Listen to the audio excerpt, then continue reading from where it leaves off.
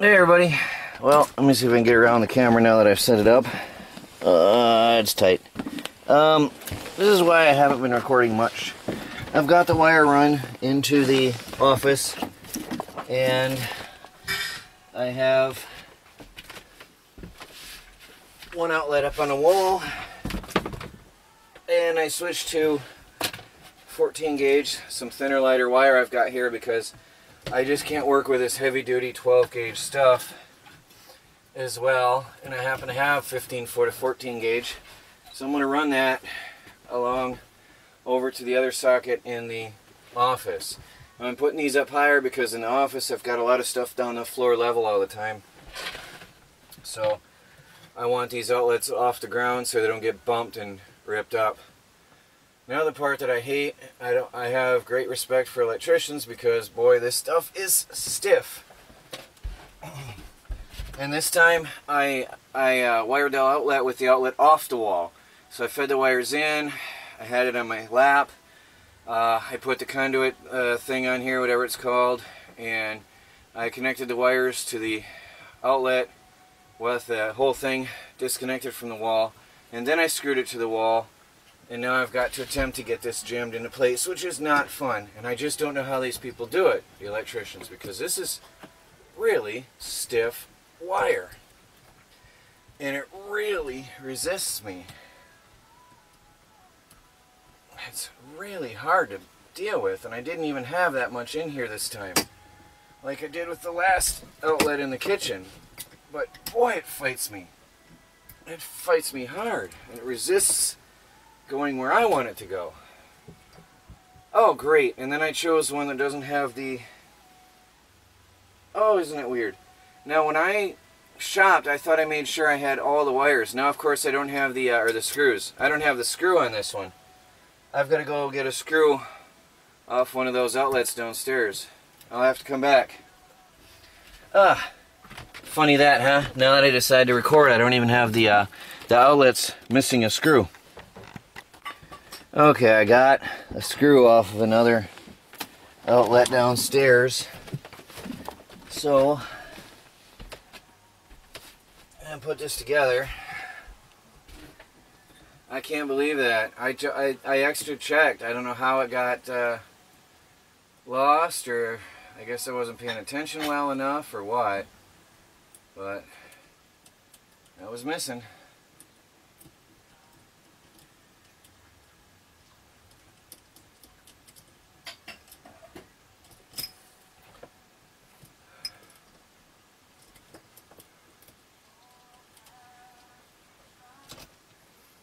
And even have those retainer clips, but it was gone.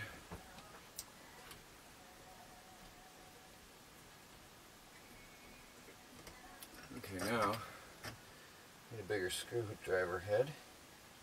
That's the bigger I got. Okay. hopefully I can push this wire into submission and get in there and stay in place. Now eventually I'm going to be pro uh, properly finishing off the walls in here. That's not a big deal just to remove the outlet, put up the paneling, and put the outlet back down. I'm not worried about that at all. Right now, though, I need power. I'm tired of not having power in a tiny house on wheels.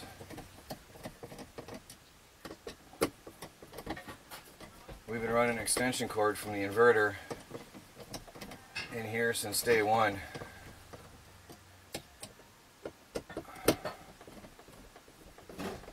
So, no more we will have power in a tiny house on wheels. Make sure everything's still in place. The screws haven't, or the wires haven't broke off, which I had happen uh, downstairs in the kitchen. One of my wires broke off on me, and that's not cool. And then the trim cover plate. Now we've got a very pretty outlet on here. Obviously then I just have to hide the wires in a conduit and we're done.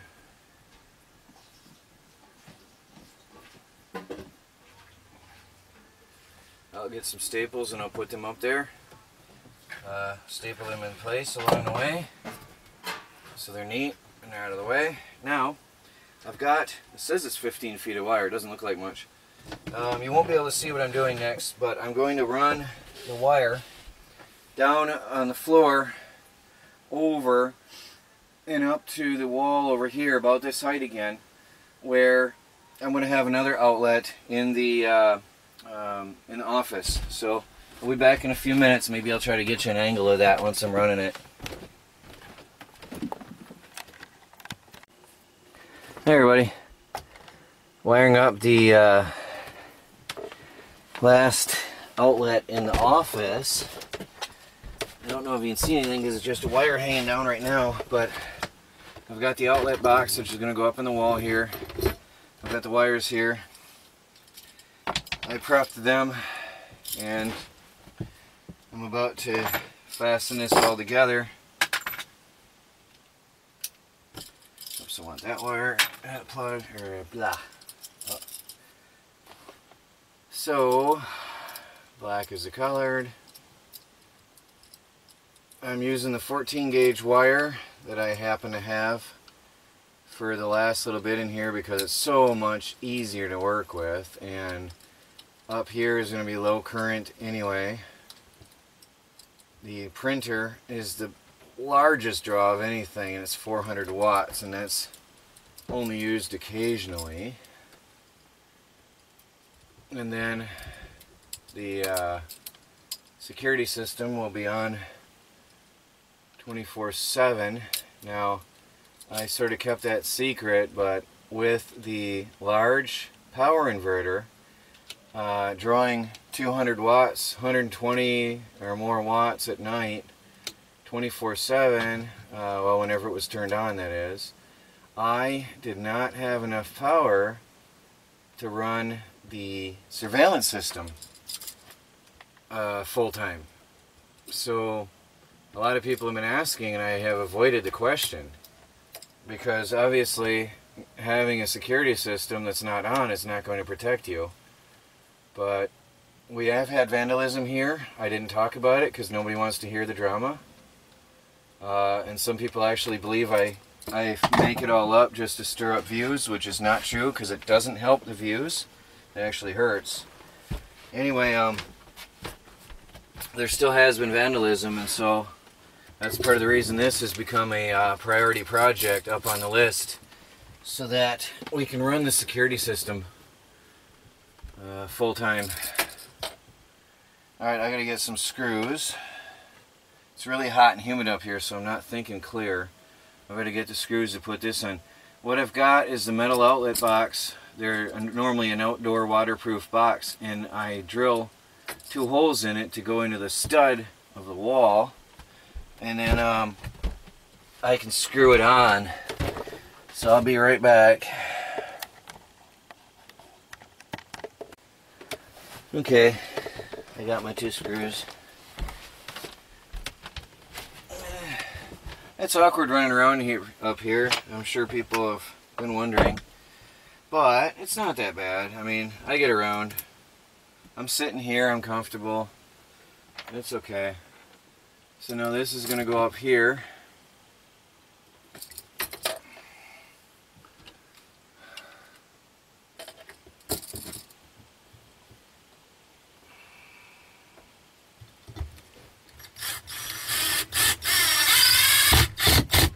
Right into the stud. And then uh, when I put up the paneling, it's just a matter of adjusting that. Not a big deal.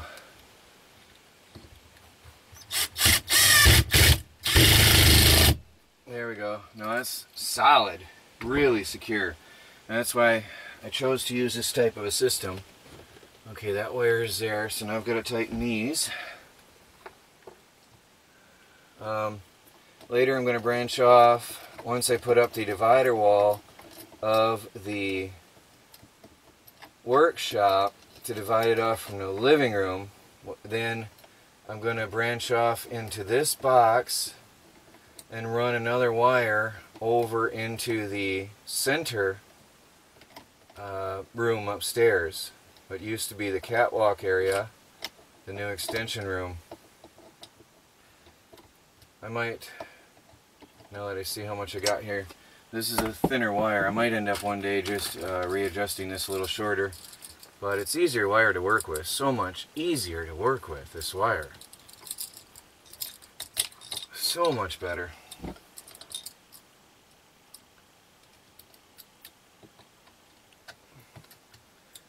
Again, I am not an electrician. I'm just doing, putting this together.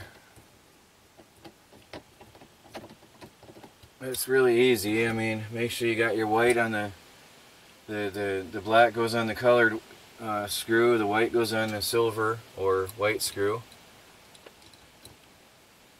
And the bare copper ground goes on the green screw. So it's pretty simple. I just make sure I get my wires on there right.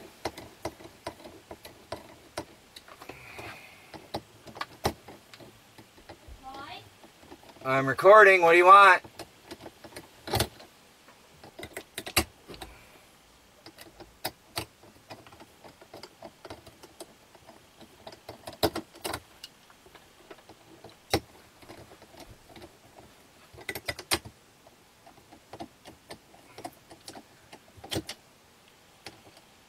So I just screw these down tight. These 14 gauge wire is so much nicer to work with. Such a relief compared to that heavy 12 gauge. Big difference. And uh, I was told I did not need the 14 gauge, or the uh, 12 gauge. It's a 20 amp line, I was told. The 12 gauge wire is a 20 amp line. And I don't have to have 20 amp line if I'm not running 20 amps. Um, this is a 600 watt line from the power inverter. So that's all it's going to run through here. 600 watts max at any given time. So I'm not, I don't need that heavy wire. So I don't have to stress about it, about dealing with um, the stiff, stiff wire. It was hard to work with. But I happen to have it. I got it from a friend. Um, who does cleanouts, and he had this massive roll of wire, and I made him a good deal, or he made me a good deal. So I had it, and I only had um, 15 feet of this 14 gauge, so you know, you do what you can do. Well, there's that. I'm going to have to go out now and hook up the wire to the inverter and hope that I did everything right. And if so, then we will have AC power upstairs in the and downstairs in the kitchen in the tiny house on wheels. AC power, just plug in the uh, plug in the stuff and run. Very very nice. Now this doesn't interfere with my printer because uh, the paper comes out right here, so that's perfectly fine. Nothing in the way. Happiness. Here we go. Now I'm going to go outside and wire that up outside. We'll see you out there.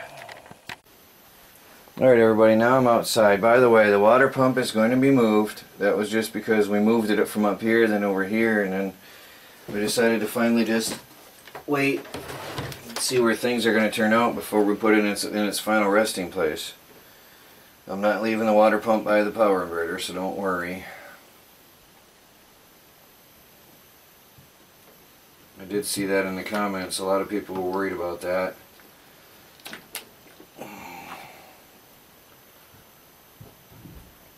And it's not going to stay there.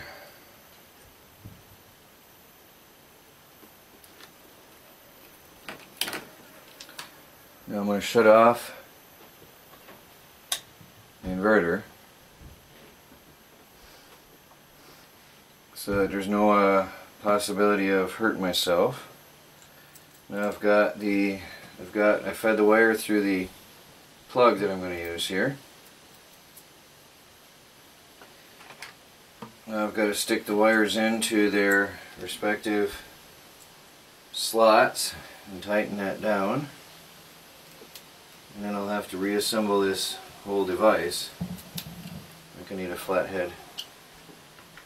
There's my flat.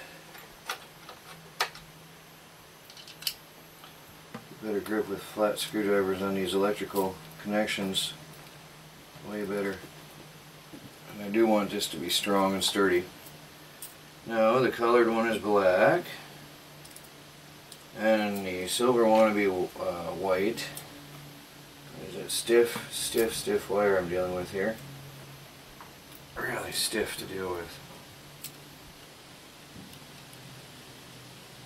The difference between 12 and 14, 14 gauge single strand wire is, uh, or solid wire. It's a big difference in handling it.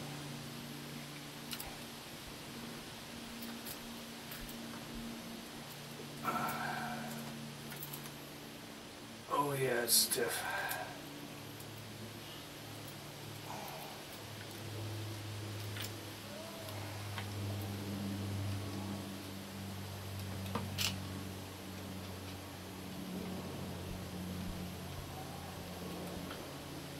There will be that. Make sure I put the black on the colored, the white on the silver, and the copper wire on the green.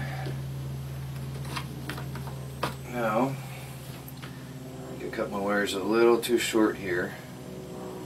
So I want to see if I can uh, pinch them in some to get them inside that case, the housing.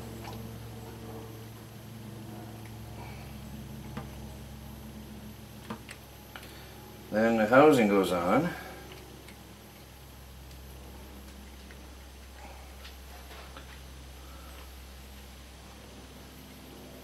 And I can put these screws back in.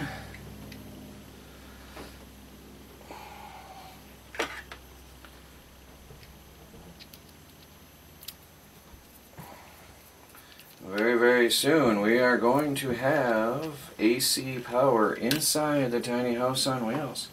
So I'm going to reassemble this plug and we'll go check it out. Okay, I've got the plug inserted. I'm going to turn on the inverter and I'm going to go inside and see if we have power inside the tiny house on wheels. Okay everybody. Oh, here's a simple test. Let's see, I've had this lamp up here forever and uh, there's no real value in that. It's just a little light bulb. I don't even know if this lamp works, but let's plug this in and see if it turns on. That would mean we would have AC power in a tiny house on wheels. If the bulb works, if it's a good example.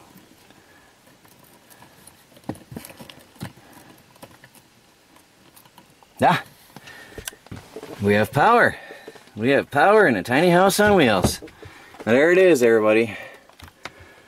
Ah, the outlet works. I'm gonna go test the other one just to be sure. All right, everybody. Right here, I plugged in my laptop and this lamp, which I'm finishing a review for. I just, I just switched on the power to the lamp, and we'll turn it on. And I want to put that at medium height uh, brightness.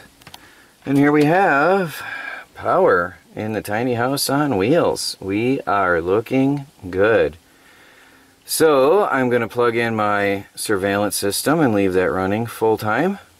And uh, I've got AC power in the tiny house. It feels really good. I am happy.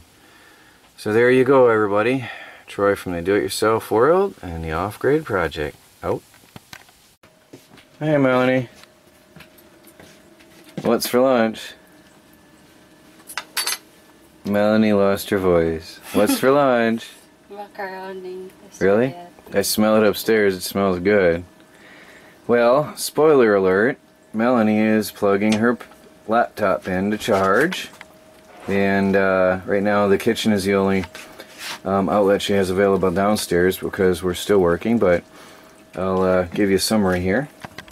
Um, this will be a separate video which you may have seen already. But anyway, the upstairs office is wired and there's uh, wiring in the tiny house on wheels. I still have some more work to do, but I've got to get some more 14 gauge wire.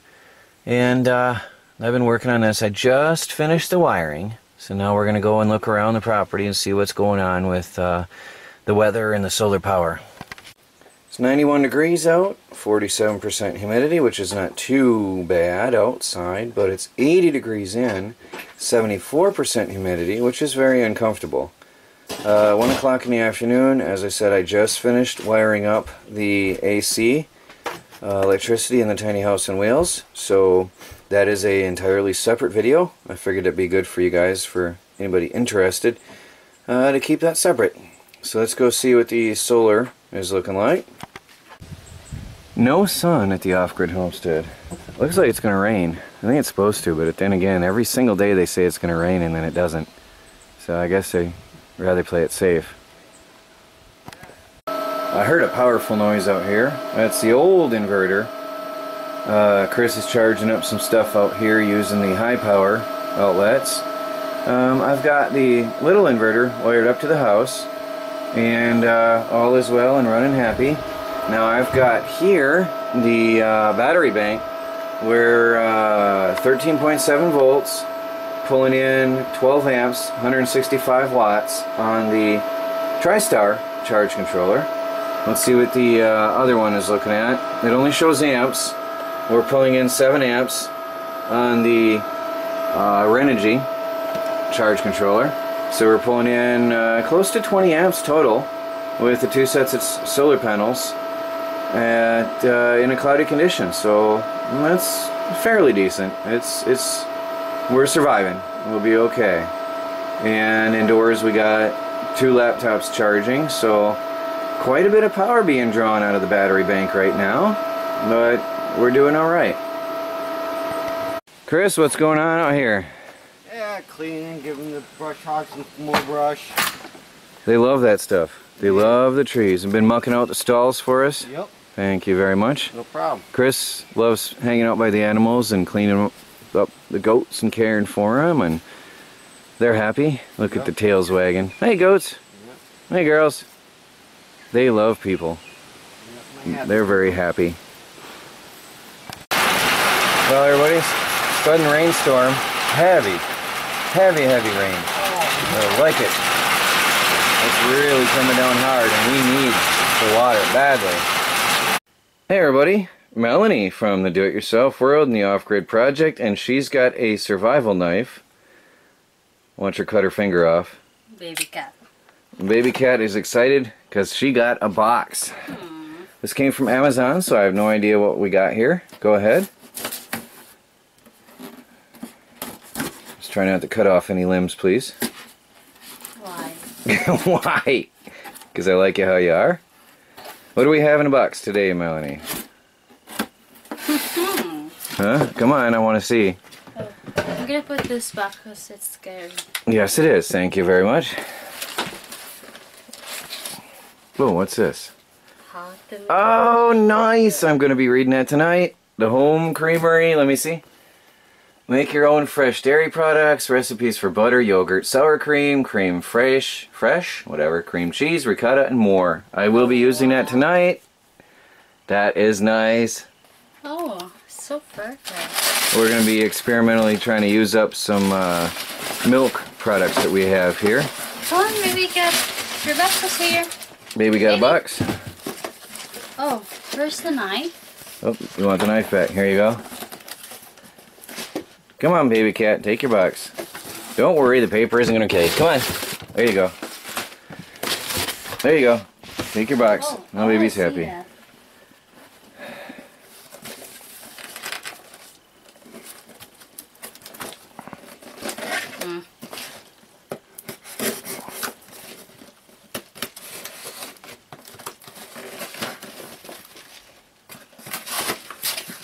Baby's happy.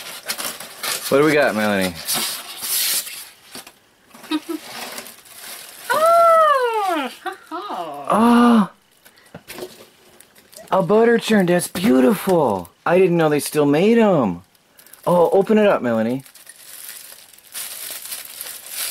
Oh, that's so nice looking. Oh, careful. That's scary. Yeah, hold it by the bottom. Can you pick it up and hold it up, please, so I, we can see it on camera? Oh, that's so nice looking.